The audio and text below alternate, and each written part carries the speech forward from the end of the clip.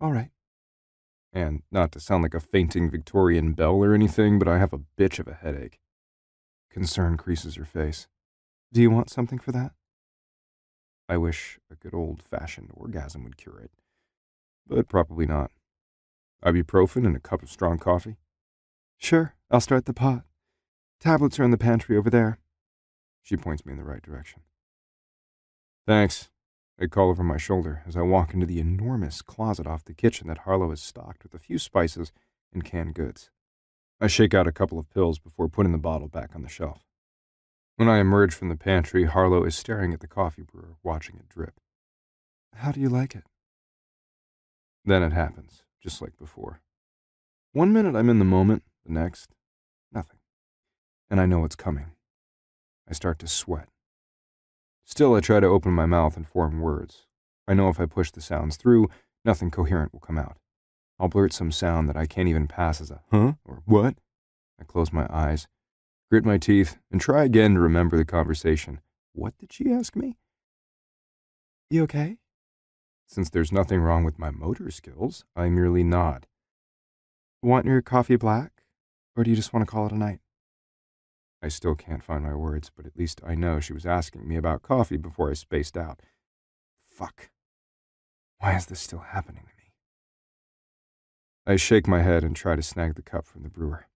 If I whip it up to my lips, maybe she won't notice the silence. Black coffee is my preference. Why can't I say that right now? I know the words. They're in my head. I just can't seem to get them into my mouth. Sit down. She smooths out a frown. I'll wash the dishes and clean the kitchen. I'm afraid to look at Harlow again.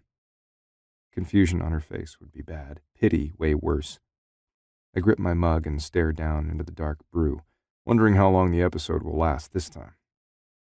I know sleep will help, but damn it, I don't want to give up tonight with this woman. I'm not sure the chance will ever come again. Until this shit, I didn't have much in the scintillating conversation department anyway, but to have zero? How can I get naked with her if I can't even talk to her, ask her what pleases her? Stubbornly, I shake my head. She frowns.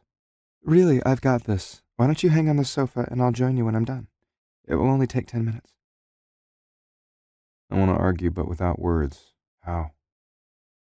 Then Harlow makes everything easier when she leads me to the living room and fluffs a cushion on the island casual couch. Then gives me a saucy wink. When I'm done, if you still want to have your wicked way with me, I'm totally game. Finally, I look her way. Really look. I don't see pity. I see concern. Weirdly, that turns me on. Unfortunately, I can't seem to summon the verbal skills to thank her.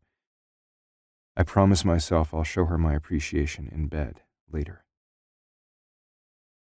When I hear water running in the kitchen sink behind me and the pop of the dishwasher opening, I close my eyes.